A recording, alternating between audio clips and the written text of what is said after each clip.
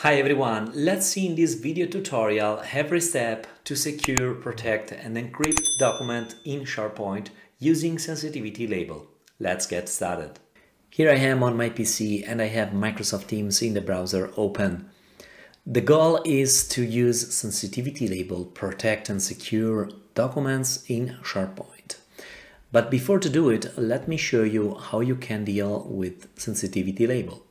First of all, you can apply a sensitivity label to a team, for example, in Microsoft Teams. I have this team here called sensitivity label. If I click on the ellipsis button and then edit team, there is this field. This field gives me the chance to apply a specific sensitivity label.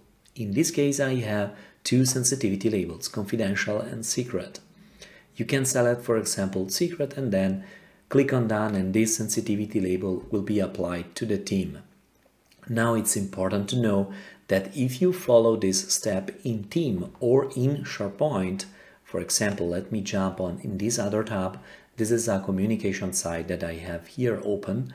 If I go in the wheel icon and then on the link site information, I have this functionality at site level available sensitivity. If I click here, again, I can choose and pick up a sensitivity label that I want to apply. Now, by doing that, I'm able to define the behavior with guests, for example. What happens if the SharePoint site or the team is shared with guests? In this case, the sensitivity label will have specific rules to deal with guests, for example. But if I want to secure files and documents in SharePoint, all I need to do is go in the document library documents and directly from here define a sensitivity label. For example, for this document library, I can go on the wheel icon on top and then clicking on library settings, I can define and pick up a default sensitivity label, securing and encrypting my files, for example, if the encryption is included in this sensitivity label. Let's say that I'm going to select secret for this document library, and now I'm going to save this configuration. Now this sensitivity label is applied for this specific document library. This gives me the chance to have a flexible scenario where I have one document library with secret as sensitivity label and other document library which have no sensitivity label. This could be uh, a scenario, for example. Now that I applied this sensitivity label, I want to click on Show Hide Columns by adding a new column. And now here I'm going to make visible the out-of-the-box column called sensitivity. Let me click on apply and now this column shows up.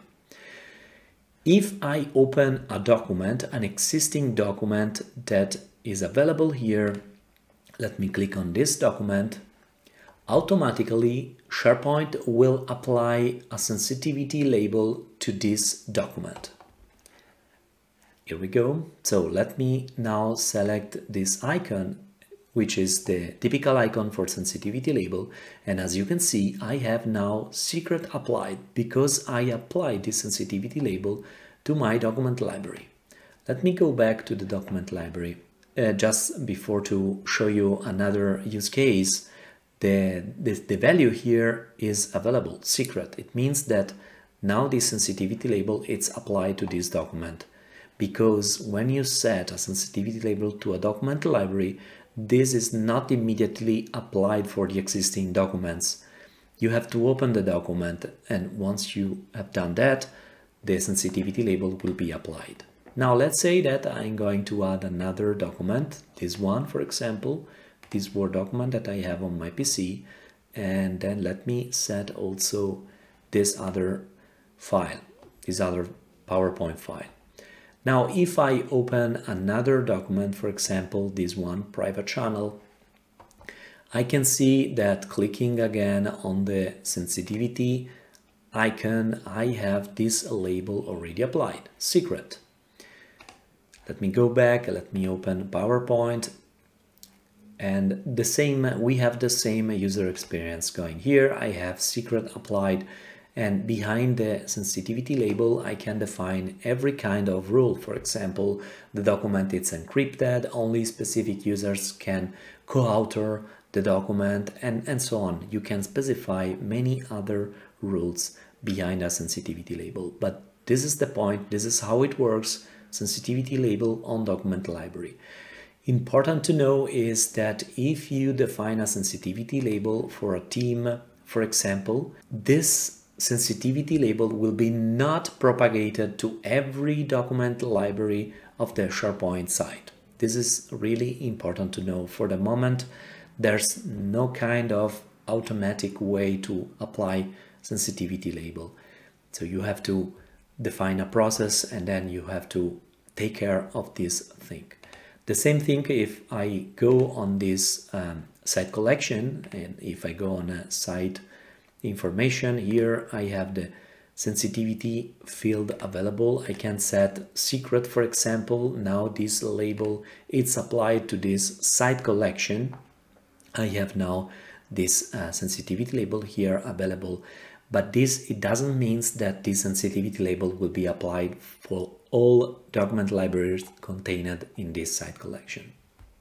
Alright, we have seen how to secure docs in SharePoint. If you enjoyed this video, as always, hit the subscribe button, like, comment. Thank you for watching. I hope to see you next time. Bye.